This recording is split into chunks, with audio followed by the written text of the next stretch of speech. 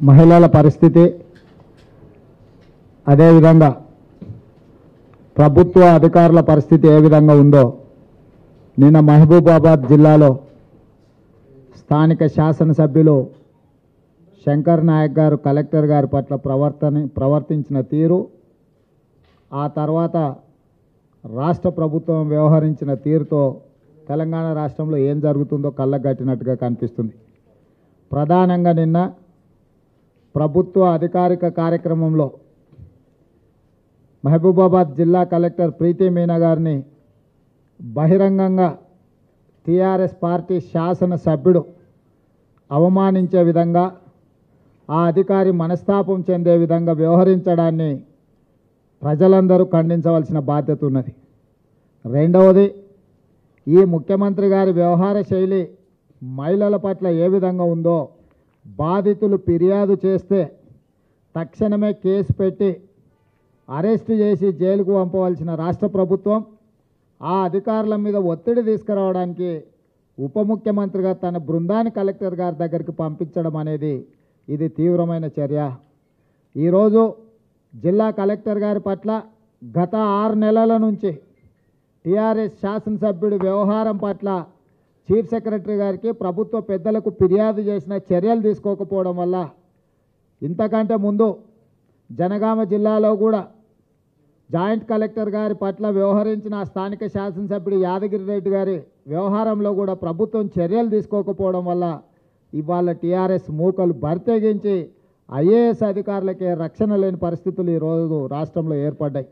అయితే ఇక్కడ ప్రధానంగా ఎమ్మెల్యే గారి వ్యవహారం పట్ల ఒక రకమైన పరిస్థితులు ఉంటే కలెక్టర్ గారు ఫిర్యాదు చేసిన తర్వాత ముఖ్య ఏ ముఖ్యమంత్రి నుంచి అయినా మనం ఏం ఆశిస్తామంటే తక్షణమే ఉన్నతాధికారులను ఒక ఎమ్మెల్యేని అరెస్ట్ చేయాలంటే స్థానికంగా ఉండే ఎస్ఐలో సిఐలో ఒకవేళ వాళ్ళకు ఆ ఎమ్మెల్యే గారు సహకరిస్తారో లేదో అనుకున్నప్పుడు ఎస్పీ స్థాయి అధికారులను డిఐజీ స్థాయి అధికారులను అక్కడికి పంపించి తక్షణమే ఎమ్మెల్యే మీద నాన్ బెయిలబుల్ సెక్షన్స్ పెట్టి అరెస్టు చేసి జైలుకు పంపించాల్సిన అవసరం ఉండే.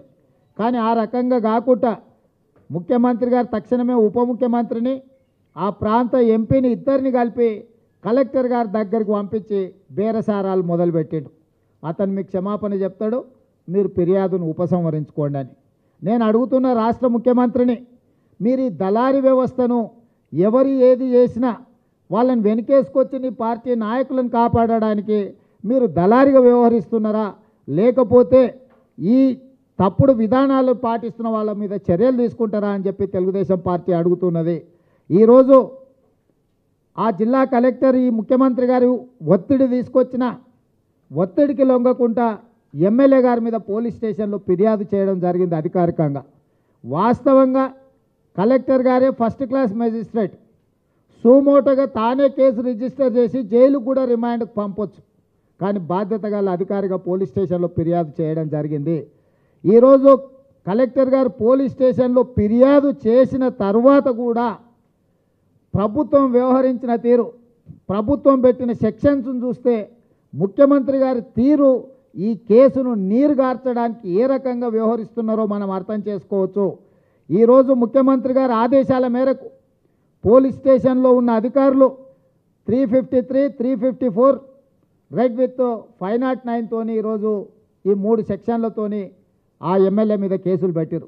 ఈరోజు ముఖ్యమంత్రి గారు ఆదేశాల మేరకు పోలీసుల మీద ఒత్తిడి తేవడంతో శంకర్ నాయక్ గారు పోలీస్ స్టేషన్కి అత్తగారింటికి పోయినట్టు పోయి ఒక సంతకం పెట్టి మళ్ళీ అత్తగారింటి నుంచి వచ్చినట్టుగా బయటకు రావడం జరిగింది.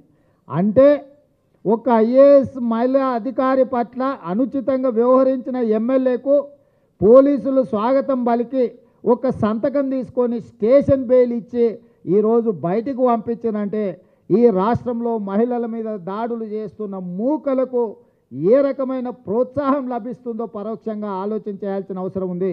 ఈరోజు దేశంలోనే మహిళల మీద రేపులల్లా తెలంగాణ రాష్ట్రం మూడవ స్థానంలో ఉంది. ఈరోజు ఈ రాష్ట్రంలో టీఆర్ఎస్ ప్రభుత్వం వచ్చినాక ఎంతోమంది మహిళల మీద దాడులు జరిగినాయి.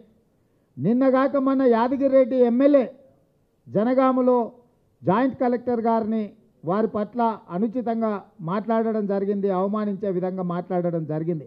కాబట్టి ఈరోజు తెలుగుదేశం పార్టీ డిమాండ్ చేస్తుంది.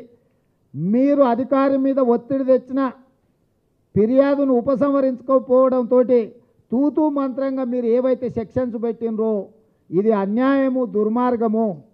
ఈరోజు శంకర్ నాయక్ మీద three fifty four read with five not six Nirbhaya చట్టం ప్రకారం కేసు పెట్టాలి. ఒక మహిళను బహిరంగంగా ముట్టుకొని అవమానించడం నిర్భయ చట్టంలోకి వస్తుంది. కలెక్టర్ గారు స్వయంగా ఫిర్యాదు చేసిండ్రు. అందుకే three fifty four read with five not six ద్వారా నిర్భయ చట్టంలో కేసు నమోదు చేసి శంకర్ నాయక్ గారిని తక్షణమే జైలుకు తరలించాలి. అప్పుడే ఈ రాష్ట్రంలో ఎవరైనా మహిళల పట్ల అనుచితంగా ప్రవర్తిస్తే చట్టం అంటే భయం ఉంటుంది. గతంలో ముఖ్యమంత్రి గారే చెప్పిర్రు ఆడవాళ్ళ దిక్కు చూడాలంటే లాగులు దడవాలి అని. ఇదే ముఖ్యమంత్రి గారు చెప్పిండ్రు కదా ఇవాళ ఆడవాళ్ళ దిక్కు చూస్తే లాగులు దడవాలన్న మీరు కలెక్టర్ గారి పట్ల అనుచితంగా వ్యవహరించిన నీ ఎమ్మెల్యేను ఏ రకంగా ప్రోత్సహిస్తున్నావో దీన్ని బట్టి అర్థం చేసుకోవాల్సిన అవసరం ఉన్న తెలంగాణ సమాజము. అంటే ఈ రాష్ట్ర ముఖ్యమంత్రి చెప్పేది ఒకటి చేసేది ఒకటి కాబట్టి తెలుగుదేశం పార్టీ డిమాండ్ చేస్తుంది. శంకర్ నాయక్ మీద నిర్భయ చట్టం పెట్టి జైలుకు పంపాలి. టీఆర్ఎస్ పార్టీ నుంచి బహిష్కరించాలి. టీఆర్ఎస్ పార్టీ నుంచి కేసీఆర్ ఒకవేళ బహిష్కరించకపోతే శంకర్ నాయక్ చర్యలను ముఖ్యమంత్రి గారు సమర్థించినట్టే. అదేవిధంగా three fifty four read with five not six పెట్టకపోతే ముఖ్యమంత్రి గారు తన అధికారాన్ని ఉపయోగించి కలెక్టర్ గారు ఫిర్యాదు చేసిన నాన్ వేలబుల్ సెక్షన్స్ పెట్టకుండా ఒత్తిడి తీసుకొచ్చినట్టే ఉప ముఖ్యమంత్రి సీతారాం గారి సీతారాం నాయక్ గారి వ్యవహారం మొత్తం కేసును నీరుగార్చే కలెక్టర్ మీద ఒత్తిడి తేవడానికే ప్రయత్నం చేస్తున్నట్టుగా కనిపిస్తుంది. కాబట్టి ఈనాడు తెలుగుదేశం పార్టీ రాష్ట్ర ముఖ్యమంత్రిని డిమాండ్ చేస్తుంది. శంకర్ నాయక్ మీద నిర్భయ చట్టాన్ని నమోదు చేయండి. తక్షణమే మీ పార్టీ నుంచి అతన్ని బహిష్కరించండి. ఈ రెండు చర్యలకు మీరు పాల్పడకపోతే తెలుగుదేశం పార్టీ మహిళా కమిషన్కు ఫిర్యాదు చేస్తుంది. మహిళల పట్ల అనుచితంగా వ్యవహరించిన వాళ్ళ పట్ల ఈ రాష్ట్ర ప్రభుత్వం ఉదాసీనంగా వ్యవహరిస్తుంది. ఒత్తిడి తీసుకొచ్చే అధికారుల మీద ఫిర్యాదుదారుల మీద ముద్దాయిలను కాపాడే ప్రయత్నం చేస్తుంది కాబట్టి మా మహిళా విభాగం నుంచి మహిళా కమిషన్కు ఈ కేసులో ఉండే వివరాలు అన్నిటిని కూడా పెట్టి మహిళా కమిషన్కు ఫిర్యాదు చేస్తాం. అదేవిధంగా ఒక ఐఏఎస్కే ఈ రకమైన అవమానం జరుగుతుంటే ఈ రాష్ట్ర ముఖ్య కార్యదర్శి తక్షణమే స్పందించాల్సిన అవసరం ఉన్నది. ముఖ్య కార్యదర్శి గారే ఈ కేసును సమీక్షించి కింది స్థాయి అధికారులు కేసును నీరుగార్చే ప్రయత్నం చేస్తే ఈ రాష్ట్ర ముఖ్య కార్యదర్శి తక్షణమే అధికారులకు ఆదేశాలు ఇవ్వాల్సిన అవసరం ఉన్నది. ముఖ్య కార్యదర్శి గారు కూడా డీజీపీని పిలిచి సమీక్షించాలి. ఈ రాష్ట్ర చీఫ్ సెక్రటరీ డీజీపీని పిలిచి కేసులో జరిగిన మొత్తం వ్యవహారాన్ని అంతా సమీక్షించి ఆ పెట్టిన సెక్షన్స్ను సవరించి జైలుకు శంకర్ నాయక్ గారిని పంపించాలి. మా డిమాండ్ని రాష్ట్ర ప్రభుత్వ అధికారులు పెడచెవిన పెడితే ఖచ్చితంగా కోర్టు తలుపు కూడా తడతాము. ఎందుకంటే గతంలో ఒక పంజాబ్ ఐపీఎస్ అధికారి ఒక ఐఏఎస్ అధికారి పట్ల ఇదే రకంగా వ్యవహరిస్తే సుప్రీంకోర్టు అతన్ని శిక్షించడం జరిగింది. అతని మీద నేరం రుజువైందని చెప్పి సుప్రీంకోర్టు పనిష్మెంట్ ఇవ్వడం జరిగింది. కాబట్టి ఈరోజు చట్టాలలో స్పష్టంగా మహిళా అధికారులను రక్షించడానికి మహిళలను రక్షించడానికి చట్టాలు ఉన్న ఈ రాష్ట్ర ముఖ్యమంత్రి ఆ చట్టాలను నీరుగార్చడం ద్వారా ఈరోజు అధికారుల మీద మానసిక ఒత్తిడి తీసుకొచ్చి తాము చెప్పినట్టుగా వినేటట్టుగా వ్యవహారాన్ని నడుపుతున్నాడు కాబట్టి తెలుగుదేశం పార్టీ అంశాలను మొత్తాన్ని తీవ్రంగా పరిగణిస్తుంది. ఖచ్చితంగా ఈ ప్రభుత్వ వ్యవహార శైలి పట్ల ముఖ్యమంత్రి గారి వ్యవహార శైలి పట్ల తెలుగుదేశం పార్టీ పోరాటం చేస్తుంది. తక్షణమే ముఖ్యమంత్రి గారు తన పార్టీ శాసనసభ్యుడు ఈ రకంగా వ్యవహరించినందుకు టీఆర్ఎస్ పార్టీ అధ్యక్షుడుగా క్షమాపణ చెప్పాలి అధికారికి బహిరంగంగా. ఈ రాష్ట్ర ముఖ్యమంత్రి గారి బాధ్యత టీఆర్ఎస్ పార్టీ అధ్యక్షుడుగా తన పార్టీ శాసనసభ్యుడు ఒక మహిళా అధికారి పట్ల వ్యవహరించిన తీరుకు ముఖ్యమంత్రి గారే టీఆర్ఎస్ పార్టీ అధ్యక్షుడు కాబట్టి తక్షణమే ఆ మహిళా అధికారికి బహిరంగంగా ముఖ్యమంత్రి గారు క్షమాపణ చెప్పాలి. ఈరోజు శంకర్ నాయకును పంపించి ఒకవేళ అనుకోకుండా తగిలి ఉంటే మీరు అందరు కూడా చూసుంటారు శంకర్ నాయక్ గారు ఎట్లా మాట్లాడిండో. సాటి మహిళ కూడా మా గిరిజనురాలే కాబట్టి అనుకోకుండా తగిలి ఉంటే నేను క్షమాపణ చెప్తున్నాను. గిరిజన మహిళా అధికారులు ఉంటే అనుచితంగా వ్యవహరించమనేమన్న చట్టంలో ఉందా అంటే మీరు చెప్పినాక కూడా నీ శాసనసభ్యుడు ఏం భాషను వాడుతున్నాడు ఏం మాట్లాడుతున్నాడో ఆలోచన చేయండి. ఈరోజు కడియం శ్రేయరిని ఎంపీని ఎందుకు ఐఏఎస్ అధికారి దగ్గరికి ఆగమేఘాల మీద పంపించి గంటన్నర ఏం చర్చలు చేసిండ్రు? వాస్తవంగా వాళ్ళు పోలీస్ స్టేషన్కి వెళ్ళి కేసు పెట్టి అరెస్టు చేయించాలి? కానీ అధికారి మీద ఒత్తిడి తీసుకొచ్చి కేసు ఉపసంహరించుకునే విధంగా నీ ఉప ముఖ్యమంత్రి నీ ఎంపీని పంపించి ఒత్తిడి చేయడం ఇది సమంజసమా అని తెలుగుదేశం పార్టీ అడుగుతున్నది రాష్ట్ర ముఖ్యమంత్రిని. కాబట్టి తక్షణమే ఆ అధికారికి బహిరంగంగా రాష్ట్ర ముఖ్యమంత్రి గారు క్షమాపణ చెప్పాలి. చట్ట ప్రకారం చర్యలు తీసుకోవాలా? చట్ట ప్రకారం ఈ రాష్ట్ర ప్రభుత్వం చర్యలు తీసుకోకపోతే తెలుగుదేశం పార్టీ మహిళా కమిషన్కు ఫిర్యాదు చేస్తుంది. చీఫ్ సెక్రటరీ గారికి ఫిర్యాదు చేస్తుంది. ఈ రెండు దగ్గరలో న్యాయం జరగకపోతే న్యాయస్థానం తలుపు తట్టి మళ్ళీ భవిష్యత్తులో టీఆర్ఎస్ నాయకులు మహిళల పట్ల మహిళా అధికారుల పట్ల అనుచితంగా వ్యవహరించకుండా శిక్షించే విధంగా తెలుగుదేశం పార్టీ పోరాటం చేస్తుంది.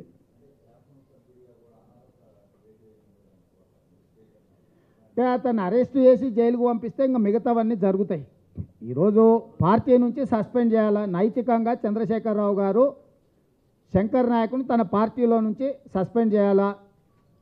న్యాయపరంగా అతన్ని అరెస్ట్ చేసి నిర్భయ చట్టం ప్రకారం జైలుకు పంపాలి. ఈ రెండు విషయాలలో తన నిబద్ధతలను ప్రదర్శించుకోవాల్సిన బాధ్యత ముఖ్యమంత్రి గారి మీద ఉన్నది. ఇది ముఖ్యమంత్రి గారి నిబద్ధతకు సంబంధించింది. కాబట్టి ఇప్పుడు భారం మొత్తం ముఖ్యమంత్రి గారి మీదనే ఉంది. బాధ్యత కూడా ముఖ్యమంత్రి గారి పే- మీదనే ఉంది. ముఖ్యమంత్రి గారు తన బాధ్యత నుంచి తప్పించుకోలేరు. తాను ఏదో ఉగ్రరూపం చూపించి నన్ను పత్రికలలో రాయించుకొని తప్పించుకోవాలని చూస్తున్నాడు. అది నిజమే అయితే స్టేషన్ బెయిల్ ఎట్లిస్తారు?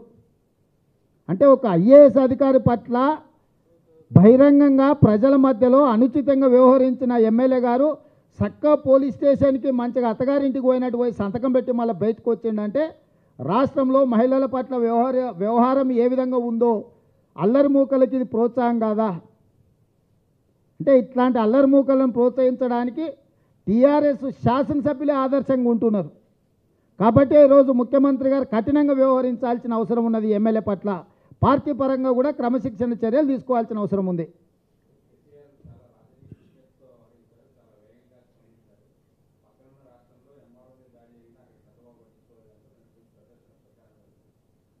ఏ ఇప్పుడు చంద్రశేఖరరావు గారు ఏది జరిగినా ఆయన కొన్ని తెలివితేటలు ఉన్నాయి. ఆ అతి ఆ తెలివితేటలు కాస్త అతి తెలివితేటలుగా మారి ప్రతిదానికి ఆయన చేసినట్టు. చేసింది వేగంగా ముఖ్యమంత్రి గారు కదిలిండ్రు. ఉప ముఖ్యమంత్రిని సీతారాం నాయకును పంపించి అధికారి మీద ఒత్తిడి తీసుకొచ్చిండు. ఈరోజు చర్యలు ఏం జరిగినాయని అడుగుతున్నాం మనం. ఈ చర్యల సంగతి చెప్పకుండా ఆ పక్కన అది జరిగింది ఈ పక్కన ఇది జరిగింది అని అంటే పాకిస్తాన్లో ఉరి తీసిండ్రు ఇట్లాంటి ముఖ్యమంత్రులను. ఇట్లా వ్యవహరించిన వాళ్ళను ఉరి తీసిండ్రు జ- ముషరాఫ్ను తీసుకుపోయి లోపలేసిండ్రు. కేసీఆర్ను కూడా అట్లనే చేయాలని కోరుకుంటుండా. ప్రతిదానికి పనికిమాలిన ఉదాహరణలు చెప్తాడు. కేపీఎస్ గిల్ను జైలు శిక్షించింది దాన్ని ఆదర్శంగా తీసుకొని ఎమ్మెల్యేని జైలుకు తోలొచ్చు కదా. పంజాబ్లో ఒక ఐఏఎస్ అధికారిని ఇదే విధంగా వ్యవహరిస్తే ఐపీఎస్ అధికారిని శిక్షించిండ్రు. దాన్ని ఆదర్శంగా తీసుకోవచ్చు కదా. మనం మంచిని ఆదర్శంగా తీసుకున్నామా తీసుకోవాలనుకుంటున్నామా చెడుని ఆదర్శంగా తీసుకోవాలనుకుంటున్నామా? కాబట్టి ఈ అతి తెలివితేటలు అతివాదనలు ఇవన్నీ పక్కన కట్టిపెట్టండి. చర్యలు ఏం తీసుకుంటావో చెప్పమని అడుగుతున్నాం. నువ్వు లాగులు దడవాలన్నావు కదా మహిళల దిక్కు చూస్తే. ఎవరు లాగు దడుస్తుంది ఏడ దడిపించిన ఒకటి ఉదాహరణ చెప్పమను. స్నేక్ గ్యాంగ్ ఏమైంది? వరంగల్లో ఇద్దరు ఆడపిల్లల్ని ఎస్టీ ఆడపిల్లల్ని మానభంగం చేసి చంపారు ఏమైంది? ఈటల రాజేందర్ కానిస్టెన్సీలో ఎస్ఐ కా- కానిస్టేబుల్ ట్రైనింగ్ పోయిన అమ్మాయి మీద లైంగిక దాడులు జరిగినాయి. ఏమైనాయి? ఇలా చెప్పుకుంటూ పోతే వంద ఉదంతాలు ఉన్నాయి. పదకొండు వందల ముప్పై ఎనిమిది రేపులు జరిగినాయి. రెండు వేల పదిహేను రెండు వేల పదహారులో కేసీఆర్ ముఖ్యమంత్రి అయినాక మన రాష్ట్రంలో. దేశంలోనే మూడవ స్థానంలో ఉంది మహిళా రేపుల మీద తెలంగాణ. ఈ ప్రసిద్ధి చెందిన ముఖ్యమంత్రి గారు దా అయిన తర్వాత ప్రతి సంవత్సరం మినిమం పదకొండు వందల పైనే రేపులు జరుగుతున్నాయి రాష్ట్రంలో. వాటికి సమాధానం చెప్పాల్సింది విడిచిపెట్టి పక్క రాష్ట్రం గురించి చెప్తాను పక్క రాష్ట్రంలో ఇన్ని రేపులు జరగలేదే.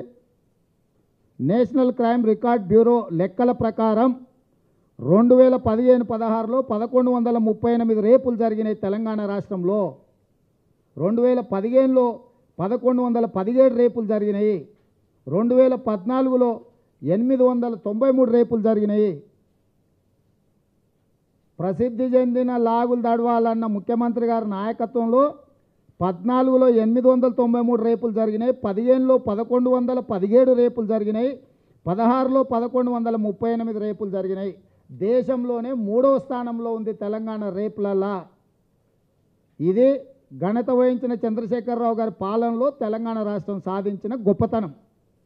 కాబట్టి ఇంకా పనికి మాలిన వాదనలు మానేసి చర్యలు దివుకు చేపట్టాలని తెలుగుదేశం పార్టీ డిమాండ్ చేస్తుంది.